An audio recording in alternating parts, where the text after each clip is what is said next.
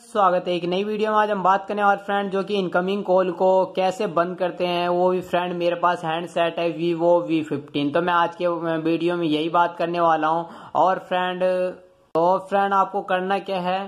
Friend आपके पास कोई सा भी डिवाइस है एम आई रेडमी और फ्रेंड आपको कोई सा भी डिवाइस है, उसमें भी आप कर सकते हैं।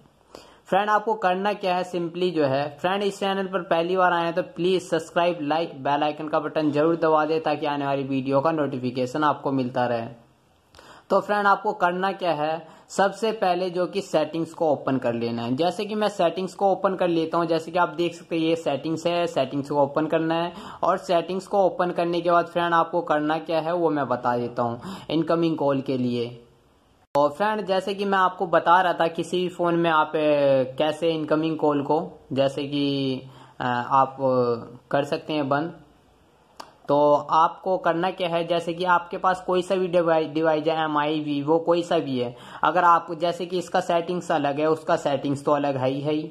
तो आपको करना क्या है यहाँ पे, जैसे कि मैं आपको एक ऑप्शन और भी बता देता हूँ, जैसे कि आपका फ़ोन का सेटिंग्स जो अलग जो होता है तो आप यहाँ से भी सर्च कर सकते हैं, सर्च करके मंगा सकते हैं। जो कि आपको शॉर्ट फॉर्म में आपको यहीं से मिल जाए। जो भी ये जो इसलिए दिया गया है फ़ोन का सेटिंग्स, जो कि आप यहाँ पे सर्च मार के कुछ भी निकाल सकते हैं बड़े आसानी से, क्योंकि फ़ोन का सेटिंग्स तो अलग अलग होता है। आप यूट्यूब पे वीडियो कोई भी देखते हैं तो लेकिन आपका सेटिंग्स फ़ोन का अलग होता है तो इसलिए आप सेटिंग्स नहीं कर पाते हैं। तो आपको सिंपली जो है करना क्या है, आप देख सकते हैं इस पे क्लिक करना है। इस पे क्लिक करने के बाद फ्रेंड आपको यहाँ करना क्या है, यहाँ पे देख सकते हैं क्या नोटिफिकेशन देखिए ये बंद हो जाएगा फ्रेंड, ये बंद हो चुका है तो आप इसी तरह से बंद कर सकते हैं फ्रेंड।